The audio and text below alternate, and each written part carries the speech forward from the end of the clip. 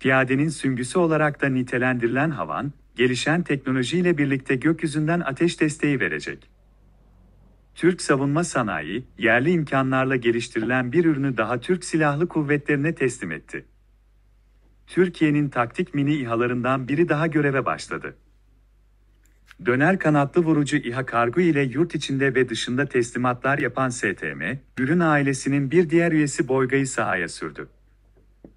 STM ile Makine Kimya Endüstrisi, anonim şirketi işbirliğinde geliştirilen hava mühimmatı taşıyan döner kanatlı insansız hava aracı Boyga, kabul testlerinin tamamlanmasının ardından ilk kez envantere girdi.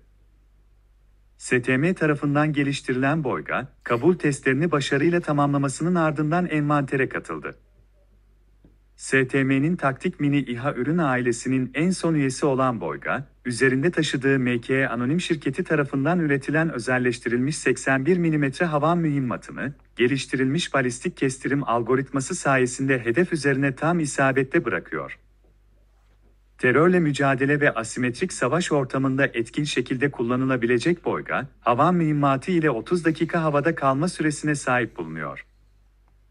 1500 metre uçuş irtifasına erişebilen Boyga, 5 kilometre menzilde görev yapmasının yanı sıra 15 kilogram ağırlıkla tek personel tarafından taşınabiliyor.